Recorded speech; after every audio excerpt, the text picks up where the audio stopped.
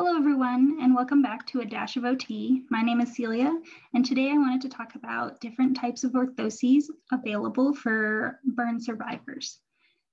I recently just finished up a topic on burns in my applied orthopedics class, and I made this Canva in order to uh, fulfill a option for a um, assignment. And yeah, so a little bit of background knowledge about burns. Um, usually a skin graft is involved if it is a deep partial or full thickness uh, burn um, or circumferential. Um, usually skin grafts take about three to five days to set into the uh, client's existing skin. And you always want to uh, promote active range of motion or any kind of movement so that uh, contractures are not formed. Um, of course, with physician's approval. You definitely don't want to move the patient if they are not ready. Um, some interventions are, of course, preventing contractures. You want to reduce edema and you want to elevate if any kind of movement is taking place, you want to elevate that part of the, bar- the body, um, again, to reduce the edema. Um, you definitely want to focus on patient and family education, um, especially regarding wound care and dressing and different occupational adaptations that they may use for ADLs. Um, and in the future, at a different setting, um, IADLs. You definitely want to focus on um, also talking about the splints with the staff so that they are aware how to properly put them on, um, including the patient and the family. Make sure somebody knows how to use the splintings um, so that the client will have the best outcome.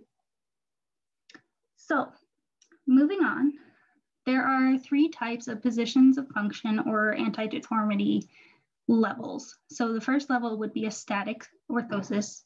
Um, this is like the acute phase right after the patient gets a skin graft. And this is like a protective kind of device. A static progressive is a level up and it prevents contractures after skin grafting. Um, this is also if you see that the range of motion is not improving when they have the static orthosis, then you move up a level. And then lastly, there's a dynamic orthosis, which kind of stretches and provides resistance to a contracture um, to prevent a contracture too.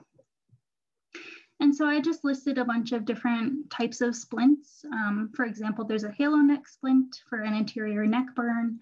Um, there's a back brace spinal support for the chest if it got burned. There are finger extension splints and C-bar splints uh, for the thumb, as well as like web space if the client burned their hand. You definitely want to keep those web spaces um, flexible and, and uh, abducted so that they can, can continue to use their fingers um, once their burn is healed. Um, there's a mouth splint, which prevents the mouth from shrinking. So it keeps the mouth open so that you know, there isn't a contracture and that would prevent them, you know, from performing their ADLs of eating and drinking. Um, there is a gutter or trowel splint for the knee. And of course, there's a thumb spica orthosis slash traction. It's also called a banjo, a sandwich, or a bivalve, and those are all for wrist and hand and thumb burns.